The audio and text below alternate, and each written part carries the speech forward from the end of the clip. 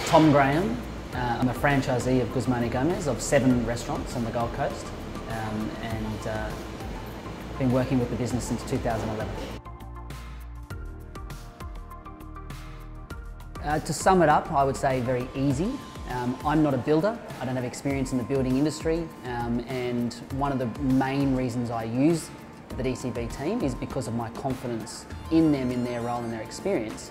Um, and it gives me a lot of comfort as we go into new projects and new developments that having them on my side, um, my lack of experience and knowledge in that part of the, the development of my business is, is in good hands um, with that team.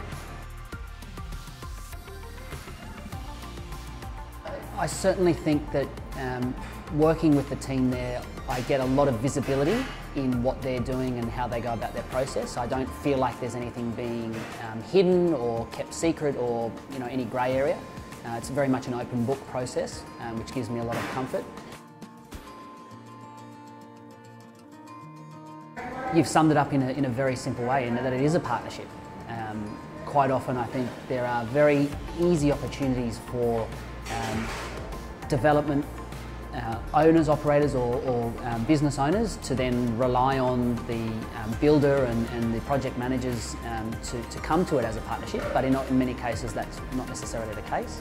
Um, and so I, I, think it is absolutely a partnership um, and I take a lot of value out of that. Um, and I think that, that flows then through to transparency, honesty, there's nothing hidden. you know, everything that DCB says they're going to do on the tin is what you get which I.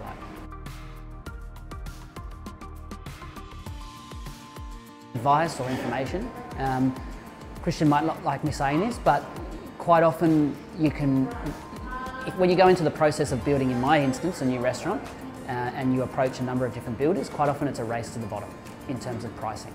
Um, and many uh, operators and, and, owners go down that path of forcing people for the race to the bottom, uh, and that's not necessarily the process I take. Um, and if it means paying a slightly higher price for a better outcome, um, that's the approach I take. And with my lack of knowledge in building and development, um, I'm more willing to, to take that uh, approach because I know that the quality of the work that's done, the timeliness of the work that's done, the fixtures that we're using, all those things, there, there aren't corners being cut to try and race to the bottom line in terms of the price. Um, so if I were to ever refer anyone, recommend anyone to DCB, my comment would be that they're not necessarily going to be the cheapest, but I think if you want a cheap outcome, go and find the cheapest. If you want a great outcome on time, um, then I would say that's, that's why I use DCB. It'd probably have to be a healthy option, knowing the management team there now and, and the, uh, the focus they have on, on having a healthy mind um, in terms of having a healthy body, you need a healthy mind. Um, so I'd have to say to be our free-range chicken bowl with brown rice and guacamole. Maybe a little bit of spice, because they do like to, to spice things up every now and then as well.